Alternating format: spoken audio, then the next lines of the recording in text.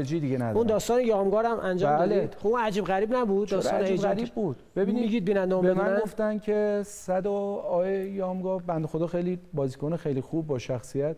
حالا نمی‌دونم. ببینید یه اتفاقی که میفته این واسطه که اینا رو رقم می‌زنن. خب یامگا رو اومدن حدودا الان نزدیک دو میلیون دلار حدودا من عرض می‌کنم. نمی‌خوام دقیق بگم. قراردادشه. برای چقدر؟ برای؟ سه فصلش حدوداً. فصل. آره. سه فصل دو میلیون دلار.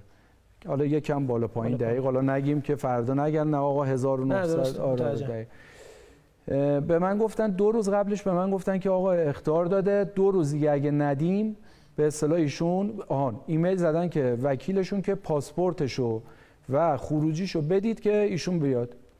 من پیگیر شدم گفتم برای چی گفتم؟ به خاطر اینکه حدودا چهل روز اختار داده.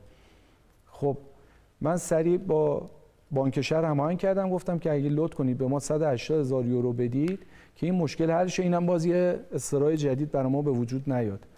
که ایشون هم قبول کردن ما 180 هزار یورو من هماهنگ کردم که بانک شهر به اصطلاح یکی از شعبه‌های کامرانیه‌مون تا ساعت هفت بعد از ظهر اونجا منتظر بمونه که برن پولو بگیرن.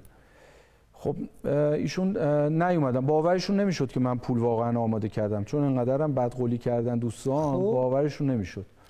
خلاصه نیومدن که قرار گذاشتیم برای فردا بعد از ظهر. گفتم پولو بگیرید بیارید باشگاه که فردا بعد از ظهر. فردا بعد از ظهر هم اومدن.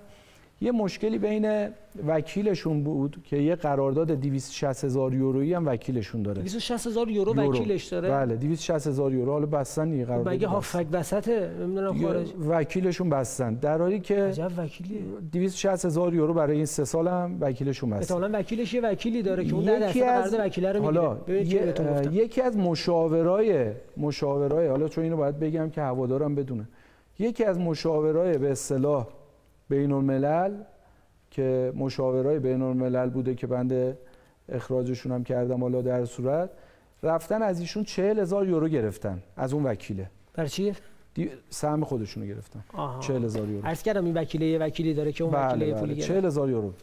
بعد اومدن این ور که گفتن نه آقا به این آقا پول نباید بدیم. تو قرارداد از پول نباید بدیم. یه جنگ اینجوری شروع کرد خیلی انگار سینمایی هم شده آره. واقعا اصلا وقتی ورود می‌کنی تو حالا راجع به این قضیه هم صحبت خواهم کرد.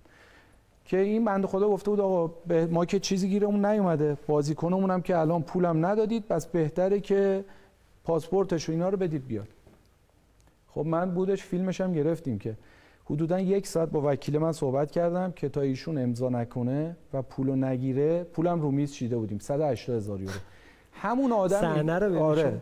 همون آدمی که 40 هزار یورو گرفته بود رفته بود به پیجا. گفته بودش که 20 هزار یورو به یامگا دادن که باز تخریب کنن. اومدیم و هر چی اصرار کردیم و این امضا کن امضا نمی‌کرد که قرارداد باید امضا کنه که اون اختارا از بین بره دیگه پول بله، دریافت. کرده. تا اینکه بالاخره با وکیل من صحبت کردم گفتم من به هیچ عنوان اجازه نمیدم چون باز اجازه میدیم آمانوف اتفاق میافتاد. بله، چون هم رضایت بدید. برم ندادن پاسپورت رو دادن دستش رفته. الان شکایت کرد. یه شکایت دیگه ما داریم الان آمانوف. این درسته. یه شکایت دیگه هم الان آمانوف خیلی. عجیب. میگم خیلی واقعا فرم دیگه بستن بالاخره صحبت کردیم عجیب. با وکیل. گفتیم ان با شما صحبت می‌کنیم. اگر حقی دارید شما باشگاه استقلال به شما پرداخت می‌کنه. اگر قراردادی دارید مشکلی نداریم ما. پرداخت می‌کنه. آقا من دو سه تا چیز اینو. امضا کردم بالاخره پولشون رو دریافت کردن که این مشکل هم حل شد.